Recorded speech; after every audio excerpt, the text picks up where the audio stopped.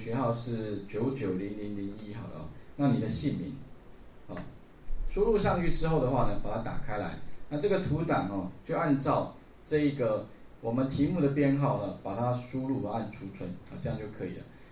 截取的方式啊，记得用 FaceDom 来来做截取啊。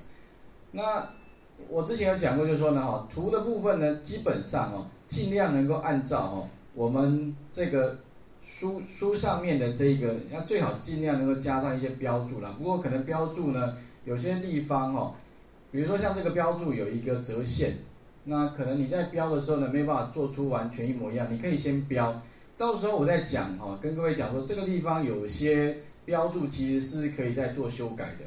可以修改成类似像他这边看到的样子，那其他呢，像这个点哦，可就看你们自己啦，有可加可不加了哦，那加的越详细当然越好。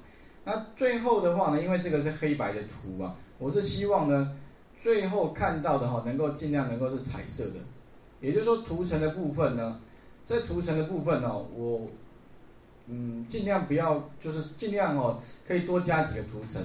比如说我在这边的话，我加了几个，呃，针对比如说我标注的部分哦，我就给它一个颜色哈。然后呢，我的这个其他的，像我这边，这边哈定义的线，我给它，比如说我给它一个绿绿色的线。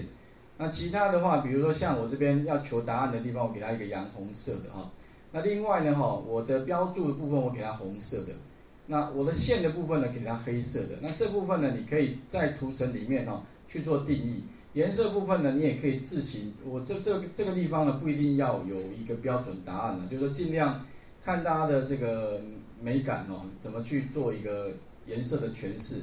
那再来就是说呢，上面哦，尽量也让它涂个颜色好了。比如说这地方用 GD 好了，我们用剖面线哦，渐层的剖面线。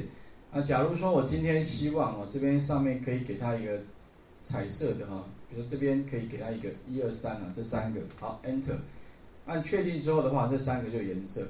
那另外呢，哈，其他另外这边呢，也可以给它不一样颜色。G D Enter 哈，假如说我不喜欢这个颜色哈，下面的部分我给它一个另外一个颜色啊，像黄色。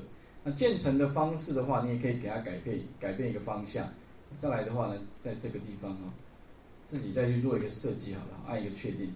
那给它不一样的颜色呈现。最后呢，把它拍照起来哈，把画面呢先还给各位一下，试试看哦。先找到这个软体啊。